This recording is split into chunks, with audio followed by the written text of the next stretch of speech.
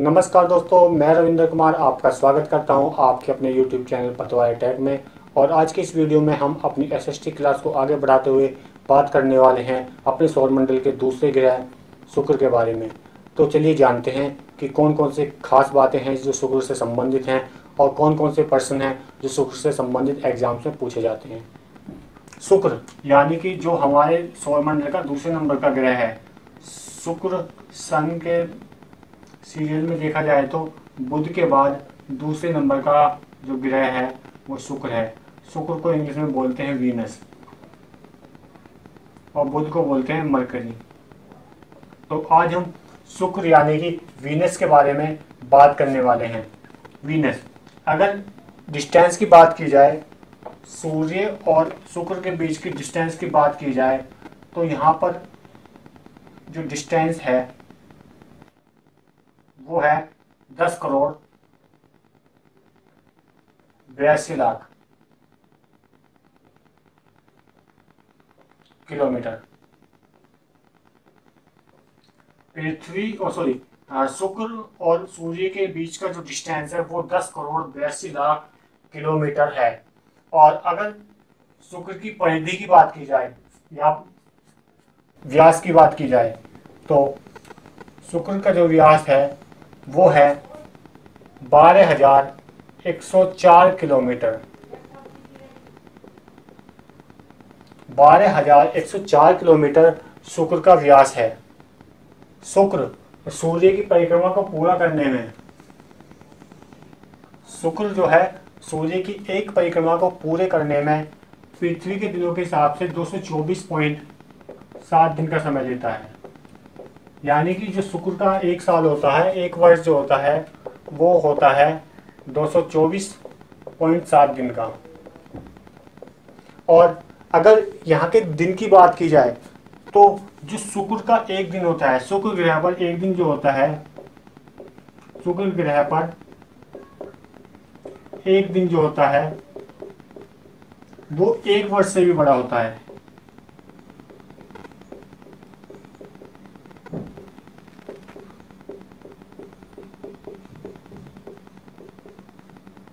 शुक्र ग्रह का एक दिन पृथ्वी के जो है, पृथ्वी के दो दिन के बराबर होता है।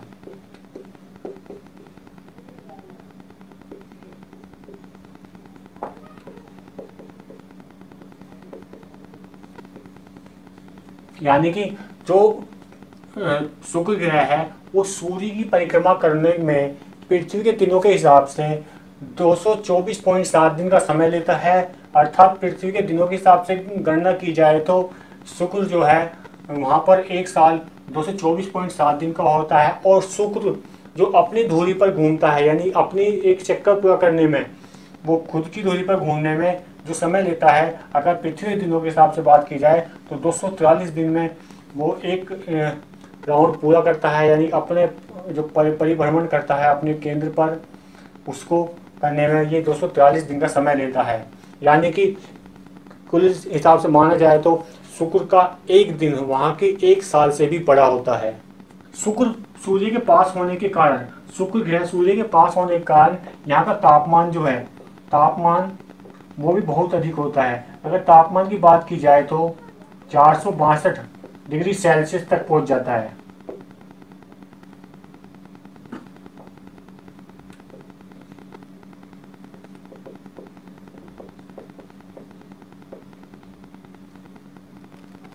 शुक्र ग्रह को नंगी आँखों से देखा जा सकता है। शुक्र ग्रह जो है, उसे अगर देखना हो तो ये सुबह शाम दोनों समय दिखाई देता है और इसको इसी नाम से भी पुकारा जाता है।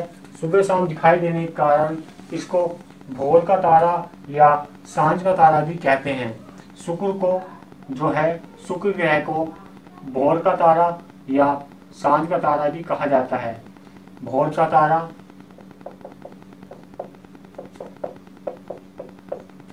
और साँझ का तारा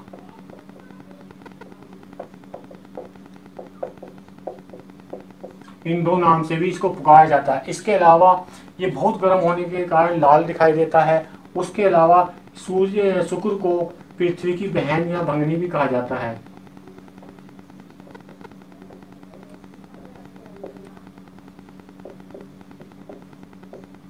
शुक्र ग्रह को, शुक्र ग्रह को, शुक्र ग्रह को पृथ्वी की बहन या भंगनी भी कहा जाता है।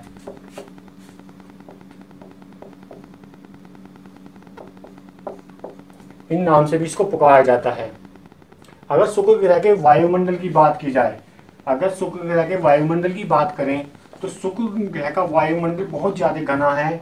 शुक्र ग्रह का जो वायुमंडल है, वो बहुत ही घना है और इसके वायुमंडल में कई किलोमीटर मोटी सल्फ्यूरिक एसिड की परत पाई जाती है, यानी सल्फ्यूरिक एसिड के जो बादल हैं, उनकी बहुत मोटी परत पाई जाती है।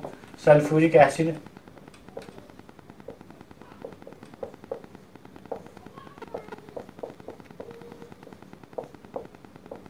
बादल। सल्फ्यूरिक एसिड के बादल की बहुत मोटी, कई किलोमीटर मोटी परत पाई जाती है। इसके वायुमंडल में और उसके अलावा यहाँ पर कार्बन डाइऑक्साइड की अधिकता पाई जाती है। कार्बन डाइऑक्साइड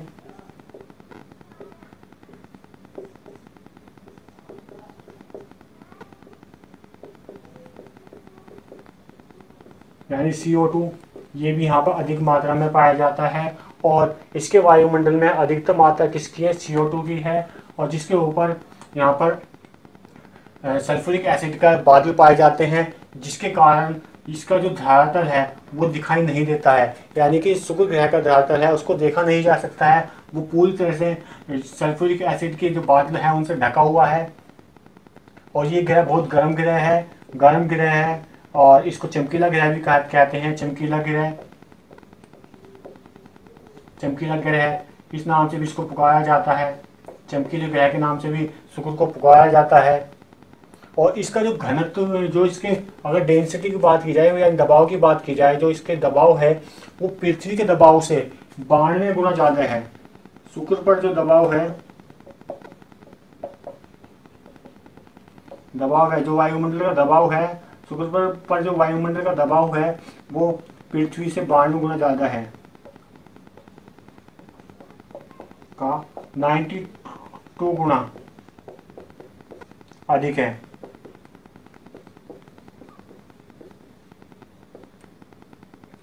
शुक्र ग्रह के अध्ययन के लिए अब से लेकर पहले तक, यानी कि कुल मिलाकर अभी तक जो है 20 से भी ज़्यादा यान भेजे जा चुके हैं।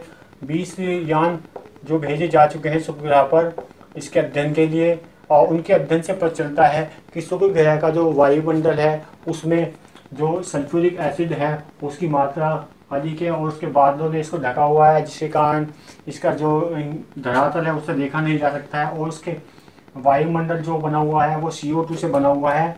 CO2 यानी कार्बन डाइऑक्साइड गैस से बना हुआ है, यानी ग्रीन हाउस गैस का प्रभाव ज़्यादा है यहाँ, जिसके कारण ये गर्म बहुत जल्दी ज़्यादा गर्म है और यहाँ का टेम्परेचर जो है चार सौ बासठ डिग्री, चार सौ बासठ डिग्री सेल्सियस तक है।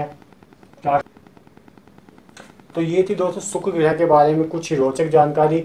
इस वीडियो में जितने भी हमने टॉपिक यहाँ डिस्कस किए हैं, सूर्य के बारे में सॉरी शुक्र के बारे में जो भी तथ्य हमने आपको बताए हैं, इनसे जुड़े हुए पर्सन हमेशा परीक्षा में पूछे जाते हैं मैक्सिमम पर्सन पूछा जाता है कि चमकीला ग्रह कौन सा है तो वो शुक्र है, पृथ्वी की बहन किसे कहा जाता है, पृथ्वी की भगनी किसे कहा जाता है, उसे, वो भी सूर्य, शुक्र को कहा जाता है, इसके अलावा साँझ का तारा या भोर भोर का तारा किस ग्रह को कहा जाता है, वो भी शुक्र को कहा जाता है, इस प्रकार के प्रश्न परीक्षा में अक्सर पूछे जाते हैं, लेकिन जिनका आंसर हमें ना पता होने की वजह से हम अपने बहुत ही महत्वपूर्ण को गवा बैठते हैं।